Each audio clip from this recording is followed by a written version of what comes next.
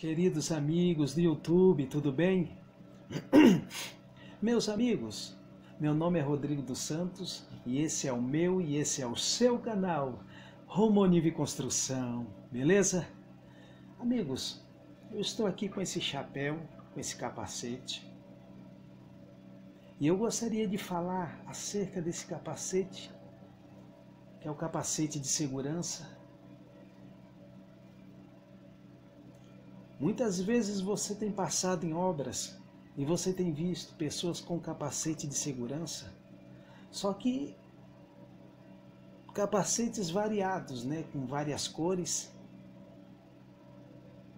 E às vezes você vê capacete verde, laranja, amarelo, marrom, verde, preto. E às vezes quem sabe muitas vezes bateu aquela dúvida, aquela curiosidade de querer saber o que representa aquelas cores, qual são a função, o cargo de cada cor, né? Por que tem várias cores em um capacete de segurança? E eu estou trazendo esse vídeo para você para poder sanar a sua dúvida, a sua curiosidade acerca das cores. Amigos, segundo eu quero trazer para você aqui uma listagem que a CIPA, que é a norma regulamentadora, ela traz as simples cores ligadas a, a funções e a cargos de funcionários. Ó, oh, o capacete branco, que nem esse aqui, que eu estou, é usado por engenheiros, mestres de obras, encarregados, arquitetos, o capacete azul, ele é usado pelos pedreiros. O capacete laranja, ele é usado pelos eletricistas. O capacete vermelho é usado por carpinteiros de forma. O capacete preto, ele é usado pelos técnicos de segurança do trabalho. E o capacete marrom ou amarelo ele é usado pelos visitantes. Às vezes, quando aparece alguém para visitar a obra, às vezes interessado em adquirir um imóvel, eles dão o capacete marrom ou o capacete amarelo.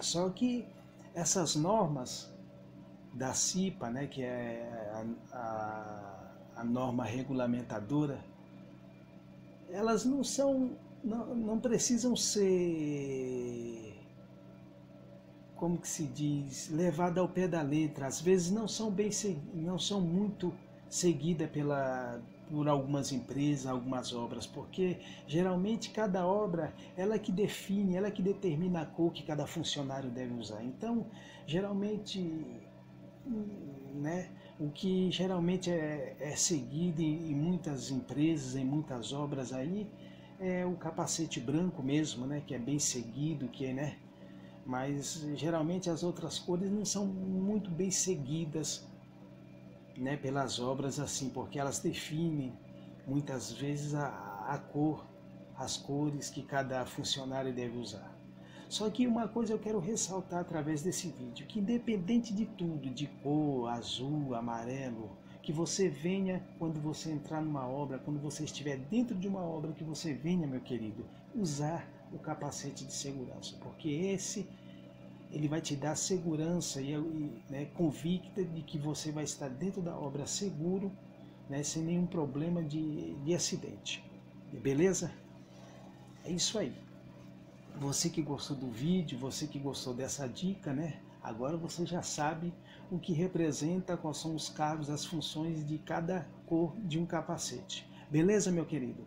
Você que gostou do vídeo, deixe o seu like, deixe o seu joinha e se inscreva no canal, nos ajude. O canal precisa crescer, o canal está é novo, né? E precisa crescer e eu conto com o seu apoio e eu conto com a sua ajuda, beleza? Um forte abraço, fique com Deus e até o próximo vídeo do seu canal Romonive Construção, beleza? Tchau!